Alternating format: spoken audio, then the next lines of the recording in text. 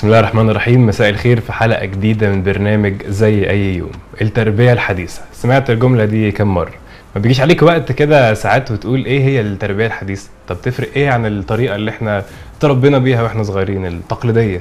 بقيت بفتح إنستجرام وفيسبوك وتيك توك و social media عامة تلاقي كمية bloggers من الأمهات وفيديوهات لأمهات بيقولوا إن هم بيربوا ولادهم التربية الحديثة ويقعدوا يشرحوا بقى ويطلعوا ولادهم معاهم. والله الواحد بي- بي- بيضحك يعني بيقول هل هي التربية هي الحديثة دي إن هي بس تبقى على السوشيال ميديا؟ بس طبعا ده مش دايما. ساعات برضو الواحد بيبقى مبسوط وهو شايف كده أمهات مع أولادهم وبيقول يا ريت كل الأمهات تكون كده متفهمة وبتعرف وتاخد وتدي مع أولادها وقريبة منهم وبتديهم مساحة حرية أكبر على صفحاتهم على الأقل. زمان كانوا بيقولوا إن أساليب التربية التقليدية هي الأحسن وهي اللي كانت أغلبها بتعتمد على الشدة والشبشب والشماعة علشان الولاد يطلعوا كده أصحاب شخصية قوية ويقدروا يواجهوا. لكن اليومين دول بقى في تربية جديدة وده اللي خلينا نسأل السؤال هل الطريقة دي ما خرجتش مثلا علماء ودكاترة ونجوم كل واحد في مجاله كانت فاشلة؟ يعني ولا كانت سبب في ظهور جيل ناجح ومتفوق في شغله. في حلقتنا النهارده هنتكلم عن التربية التقليدية القديمة والتربية الحديثة اللي بتعتمد على فتح الحوار مع الأطفال وتجنب العقاب والضرب والصريخ والتهديد. وطبعا حذف الشبشب. هيبقى معانا النهارده ناس كتيرة من على السوشيال ميديا نتكلم معاهم على التربية الجديدة والتربية على السوشيال ميديا.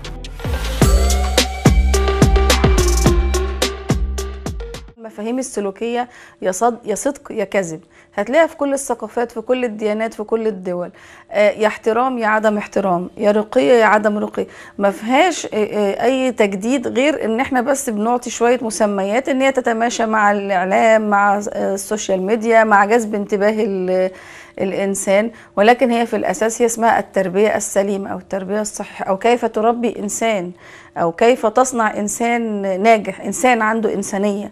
إنسان بيشعر بغيره بيعتمد على نفسه بيساعد غيره عنده آه، آه، آه، قلب صافي تجاه الآخرين عنده رحمة ل- للحيوان وللإنسان ولنفسه.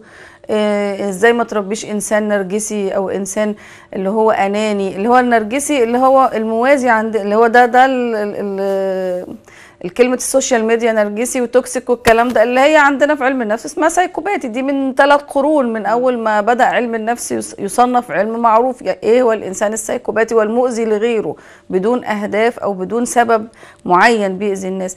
إزاي أطلع الإنسان الطفل إيه، إيه، ما عندوش كل المشاكل النفسية تجاه غيره وإيه، حقد تجاه غيره. كل دي اسمها التربية السليمة أيا كان بقى اسمها إيجابية صحيحة اي اي مصطلح اتقال عليها بس هي إزاي تربي صح؟ لو بنتكلم عن إن الأم إزاي تربي بربي إن أنا بكون واثقة في الطفل بحاول أقرب له. بيكون بينا صداقة مش رقابة.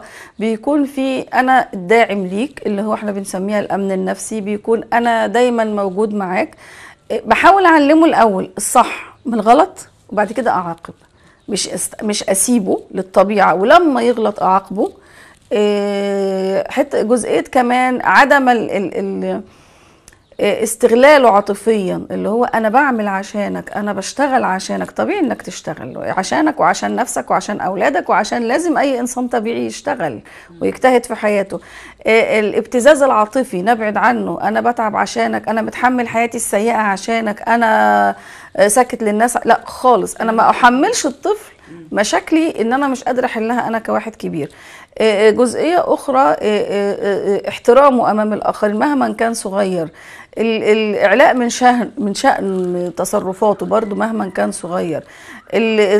اختيار التغذية السليمة شيء مهم جدا في التربية لأنه موازي لتغذية الخلايا العصبية فبالتالي بيكون في طفل مستقر جزء من الاستقرار النفسي والانفعالي والعصبي الأكل الصحي. تقبل الطفل ايا كان شيء تقبله. تقبل. إحنا بنجد آه، بعض آه، بعض الأسر اللي عندهم طفل من ذوي الهمم نجحوا في تقبل الطفل أكتر من اللي عندهم طفل طبيعي. لأن هم عندهم تقبل لل- للأمر عندهم رضا بالأمر عندهم فهم إن أنا دي إمكانياته 50% أنا هستغل ال 50% وفي واحد إمكانياته 90% بس الأم والأب مشغولين بحاجات تانية الأب مشغول بالسوشيال ميديا الأم مشغولة بمتابعة الأب اللي مشغول بالسوشيال ميديا.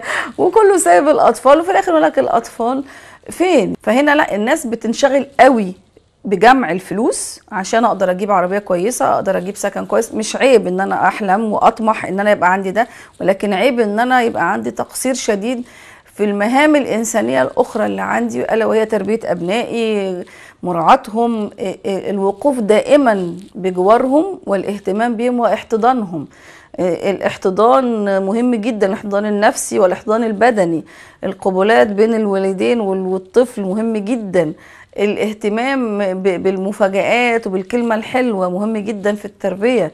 إحنا بنلاقي حد إمكانياته بسيطة الشكلية والعلم ولكنه عنده ثقة في نفسه. مش غرور هو ثقة اللي زرعها فيها أهله. أنت حلو أنت كويس لأن إحنا حابينك كده.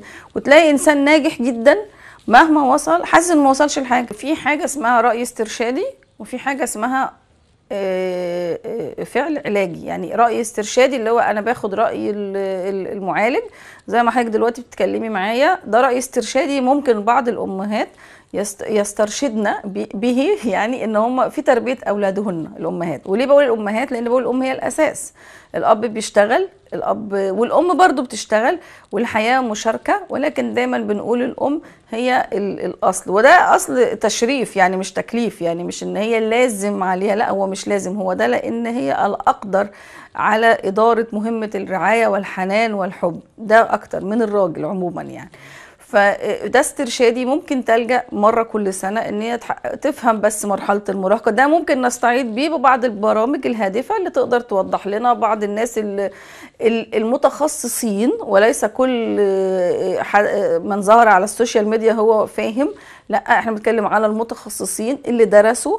أسأل مرحلة المراهقة إيه مرحلة الطفولة أتعامل معاها إزاي دخول الجامعات أقدر أتعامل مع بنتي أو ابني إزاي. ممكن نلجأ له ده كرأي استرشادي آه، والرأي الآخر وهو ال- ال- الاحتياج للفعل العلاجي ظهور أي سلوك غير آه، مقبول أو غير متوازي مع الأسرة أو سلوك زيادة عنف زيادة مع إخواته حركة زيادة مع إخواته. إذا ظهرت تصرفات غير آه، يعني متفهمينها في يعني السرقة تكرار السرقة يعني كل شوية يقول لك أنا مش لاقي فلوس في محفظتي هو بيغير الحاجة في مكانها. هنا يبقى ده عنده سرقة مرضية بتظهر في ست سنوات. فأنا لازم ألجأ ل- لمتخصص هو أنا ما أقدرش هنا أعمم ولكن أنا بقول أي سلوك خارج نطاق الأسرة والأقران. يعني طفل عنده سبع سنوات أخوه بيهزر معاه آه، بي بدل ما مثلا مقبول شوية إن هو يدفعه بإيديه لكن مش مقبول إن هو يجيب كوباية ويكسرها وعلى ويبقى رد فعل عنيف. لا هنا تكرر. وبرده عشان الناس ما, تف... ما بيتكرر السلوك من ست لثمان مرات. وفي بعض مدارس علم النفس بيقول ل 12 مرة. بس أنا أعتقد إن كافي قوي تكرار السلوك ست مرات بنفس الكيفية سواء العنف سواء الانطواء الشديد سواء الكذب المتكرر سواء السرقة.